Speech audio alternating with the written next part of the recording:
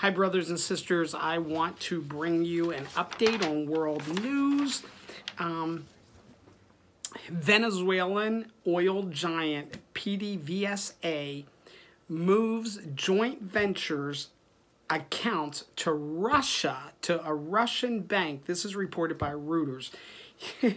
They're protecting their investments and they are getting ready. Listen, when you look at the world events, and as I reported earlier, Italy and the U.S. sending tanks and artillery to Israel, and all the Israeli borders are going to be protected. The aggression of Iran and Hezbollah, uh, brothers and sisters, at any moment, at any moment. I'm between uh, services right now.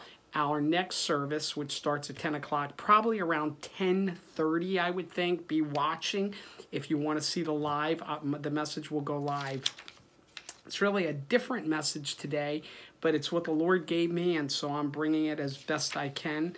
Um, may the Lord be glorified in it, and we be blessed and equipped in these final moments of the end of days.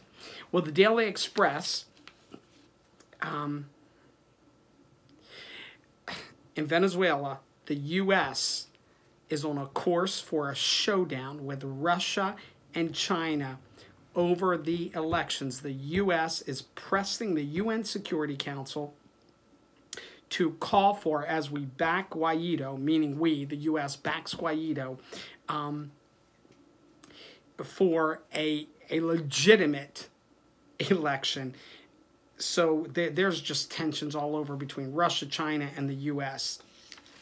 And the Jerusalem Post, a, a terrorist, a Palestinian terrorist, killed horrifically killed a 19 year old woman, an Israeli woman, and because Israel is looking at potentially death penalty, of course, they're made to be the demon and the devil again, which is ridiculous. In South China Morning Press, um, a the Liaoning, which is the only aircraft carrier uh, that China has, is preparing for new technology and launching new technology that deals with cyber and EM attacks, electromagnetic attacks. Also, the Chinese Coast Guard heads to the front line in the South China Seas. Again, things are heating up all over the place. And Mehr News Iran studies, this is what they're reporting, uh, staging joint naval drills with Russia and China. Here you go again. You've got Iran, Russia, and China. And don't think that North Korea is not going to be in that mix.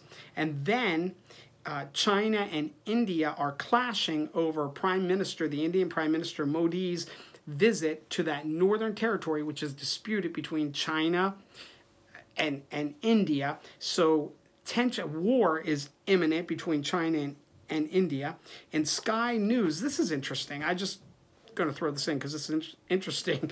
In Russia, there is an invasion of polar bears in Russia, and I just find that interesting. And then in the Express, uh, European nations are actually saying that they're happy with Brexit because now they'll be more unified. That's right, they'll be more unified. Why? Because we've got, listen, You've got the false prophet. I believe this Pope, Pope Francis, is the false prophet of Revelation.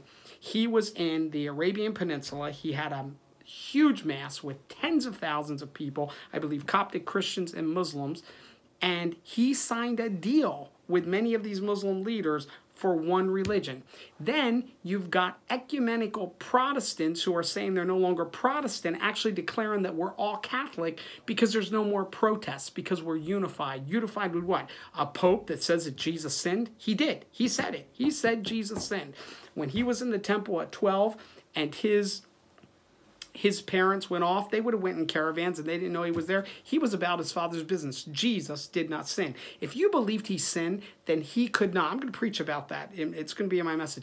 Then you cannot believe that he was the spotless Lamb of God that takes away the sins of the world. Do you see? That's a doctrine of demons.